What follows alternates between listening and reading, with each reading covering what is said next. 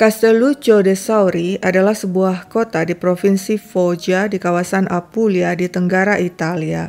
Penduduknya sedikit, hanya sekitar 2000 orang. Kehidupan sehari-hari di sana berjalan lambat, terkadang membosankan bagi orang-orang muda. Di sana tinggal tiga sahabat yakni Nadia Rocha, Anna Botticelli, dan Maria Sika. Sejak SD hingga SMP mereka satu sekolah. Ketika SMA, Nadia dan Anna tetap satu sekolah, sedangkan Maria bersekolah di SMA berbeda yang lebih dekat dengan rumahnya. Namun ketiganya tetap bersahabat dan kerap bertemu untuk bermain atau belajar bersama. Meski bersahabat, ketiganya punya sifat berbeda. Hal ini tentunya ada hubungannya dengan latar belakang keluarga masing-masing. Nadia Rocha merupakan anak bungsu dari empat bersaudara yang tumbuh di tengah keluarga harmonis. Sejak kecil orang tuanya selalu mengajarkannya untuk bersikap sopan dan lemah lembut pada siapa pun. Nadia tumbuh jadi gadis manis yang punya prestasi akademis baik, ramah, rendah hati, dan santun. Sama dengan Nadia, Anna Botticelli juga merupakan anak bungsu dari empat bersaudara. Ayahnya pensiunan karyawan di kantor polisi, sedangkan ibunya tidak bekerja. Orang tuanya menyayangi dan memanjakannya. Anna cantik, berambut pirang sehingga banyak yang suka padanya. Dia kerap diperlakukan istimewa. Dirinya tumbuh jadi anak nekat, berani, manja, egois, dan kurang empati. Malang bagi Ana, di usia 15 tahun saat dirinya duduk di kelas 3 SMP, dirinya didiagnosa menderita multiple sclerosis, penyakit autoimun yang tidak dapat disembuhkan. Dia mengalami gangguan pergerakan. Akibat penyakitnya itu, Ana kerap tidak masuk sekolah dan memilih belajar di rumah. Lain lagi dengan Maria Sika, dia dibesarkan ibunya tanpa sang ayah Umberto yang meninggal waktu Maria kecil. Seorang diri sang ibu berjuang, bekerja, dan membesarkan putri tunggalnya. Maria cerdas, nilai akademisnya bagus, namun dirinya labil, minder, mudah percaya pada orang lain, dan ingin selalu menyenangkan orang lain. Maria sangat mengagumi Ana, Ana yang cantik, berani, cuek. Sejak kecil keduanya sangat dekat. Ana sangat dominan dan Maria selalu menuruti perintah si cantik Ana. Dan demikianlah ketiga sahabat Nadia, Ana, dan Maria di usia mereka yang ke-18 mulai merancang rencana bersama untuk masa depan. Setamat SMA, rencananya mereka berniat pindah ke Amerika. Mereka ingin kehidupan yang lebih baik dan tidak ingin seumur hidup berkutat di kota kecil yang membosankan tempat mereka dibesarkan. Namun sayangnya impian tersebut tidak akan pernah terwujud. Karena ketika iblis beraksi, salah satu di antara mereka akan mati. Begini ceritanya. Pada Sabtu sore 14 Maret 98, Nadia pamit pada ibunya Rokina untuk belajar bersama Ana dan Maria di rumah Ana. Aku akan pulang sebelum makan malam pukul setengah sembilan, demikian janji Nadia. Sang ibu tentu saja mengizinkan sebab Nadia dan kedua sahabatnya sudah biasa bermain dan belajar bersama. Jarum jam terus bergerak. Tidak terasa sudah pukul 8 malam. Ada suara ketukan di pintu rumah Nadia. Ketika sang ibu Rokina membuka pintu, dia heran melihat Ana dan Maria panik. Nadia sakit perut. Dia mengunci diri di ruang belajar. Ana dan Maria menjelaskan awalnya Nadia mengeluh sakit perut dan minta dibelikan sesuatu untuk dimakan. Ana dan Maria pun pergi untuk membeli snack, meninggalkan Nadia seorang diri di ruang belajar. Namun ketika mereka kembali, pintu ruang belajar terkunci dari dalam. Mereka berusaha mengetuk pintu, juga memanggil-manggil Nadia, tapi gadis itu tidak menjawab. Sang ibu Rokina yang cemas bersama Ana dan Maria bergegas ke rumah Ana dan benar pintu ruang belajar terkunci. Ketika pintu didobrak, mereka melihat Nadia tergeletak di lantai dengan tali melilit leher. Gadis remaja itu meninggalkan sepucuk surat bundir. Nadia segera dibawa ke rumah sakit. Tapi terlambat, dokter menyatakan Nadia telah meninggal dunia. Penyebab kematian mati lemas, tapi dokter tidak bisa memastikan apakah Nadia gantung diri atau tidak. Karena kematian tidak wajar, dokter melaporkan hal itu kepada polisi. Atas izin keluarga, polisi minta dokter forensik melakukan otopsi terhadap jasad Nadia. Sementara itu, polisi mengamankan TKP ruang belajar di rumah Ana. Tadinya, ruang belajar itu adalah garasi yang sengaja direnovasi untuk Ana yang lebih banyak belajar di rumah. Ruangan itu hanya berisi meja, kursi, dan rak buku. Ada juga sebuah mesin tik antik milik Maria yang dibawanya ke sana beberapa minggu sebelumnya. Polisi membaca surat bundir Nadia yang diketik dengan menggunakan mesin tik milik Maria. Surat bundir ditandatangani Nadia dengan bolpen. Polisi curiga mengapa surat tersebut diketik. Polisi juga curiga isi surat bundir terkesan ringan. Isinya pun aneh. Ana, kau baik-baik saja. Terima kasih atas dukungan dan bantuan yang telah kau berikan padaku selama ini.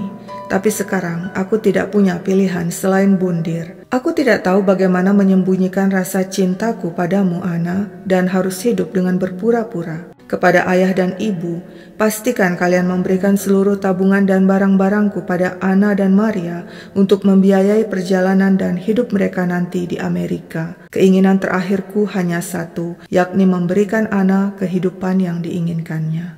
Berdasarkan isi surat, polisi menyimpulkan Nadia selama ini memendam cinta sejenis pada Ana.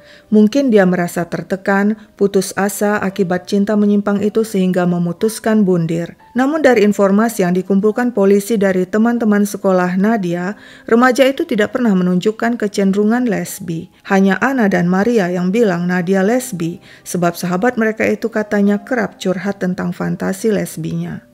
Polisi bertanya-tanya, benarkah Nadia gantung diri? Sebab saat ditemukan dirinya tergeletak di lantai dengan tali melilit leher. Tapi di mana Nadia mengikatkan ujung tali? Sebab di langit-langit tidak ada tempat untuk mengikatkan tali untuk gantung diri. Polisi menduga Nadia bukan gantung diri, melainkan dibunuh. Dan dugaan polisi benar, sebab hasil otopsi menunjukkan Nadia tewas karena cekikan, bukan karena gantung diri alias bundir. Siapa pelakunya? Kecurigaan tertuju pada orang terakhir yang bersama Nadia, yakni kedua sahabatnya, Ana dan Maria. Polisi pun menginterogasi Ana dan Maria, tapi keduanya membantah tidak ada hubungannya dengan kematian Nadia yang memang bundir saat ditemukan. Mereka juga bilang sebelumnya Nadia pernah mencoba bundir tapi gagal. Polisi heran melihat betapa tenang dan santai Ana dan Maria, padahal mereka baru saja kehilangan seorang sahabat. Polisi tidak kehabisan akal mengorek informasi. Ketika sedang memeriksa TKP di rumah Ana, diam-diam mereka juga memasang penyadap di telepon rumah Ana. Polisi berhasil mendengar pembicaraan Ana dan Maria lewat telepon. Keduanya berdiskusi tentang cara mengacaukan penyidikan polisi terhadap kematian Nadia. Polisi kembali menginterogasi keduanya, non-stop, dan Maria yang pertama kali menyerah. Dia mengaku dirinya dan Ana telah membunuh Nadia. Ketika polisi menyampaikan pengakuan Maria kepada Ana, dengan tenang dan dingin Ana berkata, "Ya, kamilah pembunuh Nadia." Dan pengakuan Ana selanjutnya bikin polisi merinding. Begini ceritanya. Sejak lama, aku dan Maria telah menyusun rencana pembunuhan Nadia. Semuanya kami rencanakan secara rinci, termasuk bagaimana mengajaknya, kapan harus melakukan pembunuhan, bagaimana merancang adegan bundir, termasuk membuat surat bundir palsu. Hari itu Sabtu 14 Maret 98, kami mengajak Nadia belajar bersama di rumahku. Pukul 5 sore dia datang, kami lantas belajar bersama. Menjelang pukul tujuh malam, di kejauhan terdengar lonceng biara berdentang. Itu tandanya aku dan Maria harus beraksi. Aku beranjak dari tempat dudukku dan bilang, aku mau ke kamar mandi. Tapi itu hanya akal-akalanku saja, sebab sebenarnya aku pergi untuk memutus aliran listrik ke ruang belajar. Ketika ruang belajar mendadak gelap, Nadia kira kami bercanda. Dia lantas berseru, "Hei, itu tidak lucu." Dia tidak sadar, Maria diam-diam menghampirinya dari belakang. Dengan shawl miliknya, Maria menjerat leher Nadia. Nadia meronta, mencoba melawan. Apa yang kau lakukan? Apa kau mau membunuhku? Mengapa? Sementara itu aku buru-buru mengunci pintu. Nadia berhasil lolos dari jeratan shawl. Dia berusaha lari ke arah pintu, berusaha membukanya, tapi pintu terkunci. Aku dan Maria bersama mendekatinya. Dia terpojok. Maria kembali melingkarkan syal di leher Nadia, sementara aku mendorongnya hingga jatuh ke lantai. Kutindih dia dengan lututku, sementara Maria sekuat tenaga menjerat lehernya dengan syal. Nadia semakin lemah hingga akhirnya dia diam. Kuinjak jasadnya, memastikan dia sudah mati. Lalu kuambil kaca kecil dan mengarahkannya ke mulut dan hidungnya untuk memastikan dia masih bernafas atau tidak. Kami akhirnya sepakat Nadia sudah mati. Lantas kami taruh surat bundir yang sudah ditanda tangani Nadia di atas meja. Kami mendapatkan tanda tangannya dengan mudah sekali. Sebelum kejadian, aku minta dia membubuhkan tanda tangannya di selai kertas kosong untuk dianalisa. Dia menuruti dan tidak curiga. Dan di atas kertas kosong itulah kami kemudian mengetik surat bundirnya. Polisi masih belum puas. Apa motif Ana dan Maria membunuh Nadia? Ana kembali memberikan penjelasan yang bikin bulu kuduk merinding. Mendiang Umberto, ayah Maria, mendatangiku lewat mimpi. Bunuh Nadia, Demikian perintahnya. Hanya dengan membunuh Nadia, masa depanku dan Maria akan cerah. Jika kami tidak membunuh Nadia, maka masa depan kami akan penuh dengan kegelapan, rasa sakit, dan bencana. Ketika menyampaikan pengakuan, Ana amat sangat tenang. Narasinya halus dan sempurna, seolah dia telah menyiapkan sebuah pidato dan menyampaikannya di tengah orang banyak dengan penuh percaya diri. Di akhir pengakuannya, sudut bibir Ana sedikit terangkat. Dia tersenyum. Tidak tampak sedikit pun penyesalan, yang ada malah rasa puas. Polisi tertegun mendengar pengakuan remaja berusia 18 tahun itu. Tapi sulit dipercaya Ana dan Maria membunuh Nadia karena sebuah mimpi. Ana dan Maria bukan remaja bodoh. Nilai akademis mereka baik. Rasanya mustahil mereka tidak bisa membedakan antara fantasi mimpi dan kenyataan. Tapi Ana bersikeras pembunuhan Nadia dilakukan atas perintah mendiang Umberto lewat mimpi. Jika aku tidak mengikuti perintah Umberto, maka aku sendiri yang akan ditimpa bahaya. Sejak usiaku lima tahun, mendiang Umberto telah datang padaku lewat mimpi. Namun saat itu, aku tidak tahu siapa dia. Kemudian ketika aku berkenalan dengan Maria di kelas 3 SD, aku lihat foto Umberto, ayah Maria di rumahnya. Saat itulah aku sadar selama ini pria di dalam mimpiku adalah mendiang Umberto. Pada musim semi 97, sebelum kami membunuh Nadia, mendiang Umberto kembali datang dalam mimpiku dan memberi perintah membunuh Nadia. Awalnya Umberto ingin aku membunuh Maria, anak kandungnya sendiri. Alasannya karena Umberto mati muda, dirinya kesepian dipisahkan dari keluarganya. Umberto ingin Maria berada di sisinya, menemaninya di dunia orang mati. Tapi aku menolak sebab Maria adalah sahabat dekatku. Aku lalu membujuk mendiang Umberto, carilah orang lain untuk menemanimu di dunia orang mati. Umberto setuju dan memilih Nadia sebagai tumbal menggantikan Maria. Polisi tidak henti-hentinya tercengang mendengar pengakuan Ana Ana menjelaskan semuanya dengan begitu rinci, seolah-olah sosok Umberto memang masih ada, masih hidup. Mungkinkah Ana mengalami gangguan jiwa? Tapi bisa juga Ana adalah seorang manipulator ulung yang sukses memanipulasi sahabatnya Maria untuk membunuh Nadia. Polisi meragukan motif mimpi itu. Mereka yakin motif sebenarnya bukan itu. Guna menemukan motif sebenarnya, polisi sengaja membiarkan Ana dan Maria bersama dan memantau gerak-gerik mereka lewat kamera pengintai. Ketika keduanya berjalan dari ruang interogasi ke ruang tahanan, di kamera pengintai, Ana tampak merendahkan suaranya dan mengatakan sesuatu kepada Maria. Polisi lalu minta bantuan ahli pembaca gerak bibir guna menganalisa perkataan Ana pada Maria, dan perkataan Ana tersebut adalah Lucifer sangat cantik dan Lucifer ada di sisi kita. Dalam agama Nasrani, Lucifer adalah raja dari segala iblis. Maria kemudian ikut mengulangi perkataan itu, dan keduanya tampak berdoa. Apakah Ana dan Maria pemuja Lucifer?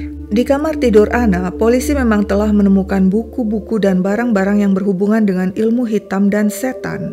Buku harian Ana juga memuat hal-hal yang berkaitan dengan upacara misa hitam. Ana mengoleksi foto-foto batu nisan dan simbol setan yang disimpannya dalam sebuah album. Polisi menemukan patung bayi Yesus di rumah Ana yang dicurinya dari pemakaman setempat yang kerap dikunjungi Ana dan Maria setelah hari gelap. Ana juga menyimpan sebuah lukisan seorang pria yang berdiri menghadap cermin yang memantulkan sosok setan. Polisi menduga Ana dan Maria diam-diam adalah pemuja setan yang kerap melakukan ritual-ritual gelap. Mungkinkah mereka membunuh Nadia sehubungan dengan ritual penyembahan setan? Perilaku Ana di penjara juga aneh. Kamera pengintai memperlihatkan dirinya dengan suara rendah menyanyikan lagu-lagu pemujaan setan. Tapi ketika ditanya soal itu, Ana dan Maria membantah mereka bukan pemuja setan.